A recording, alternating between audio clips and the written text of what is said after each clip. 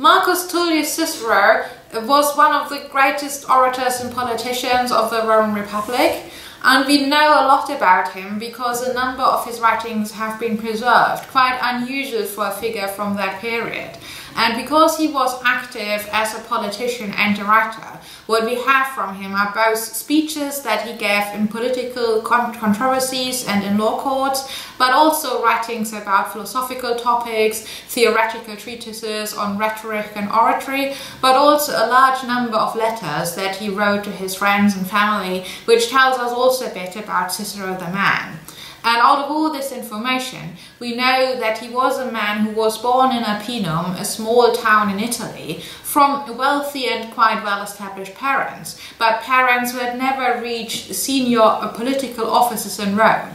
Therefore, Cicero was called uh, what the Romans thought of as a new man, someone who was new to senior politics in Rome, which gave him throughout his life both a little bit of an inferiority complex and the drive to achieve the highest uh, roles in the Roman state. And he did. So over the course of his career, he managed to become consul in Rome in the year 63 BC. And that was sort of the height of his achievement, that he got this position of a senior statesman.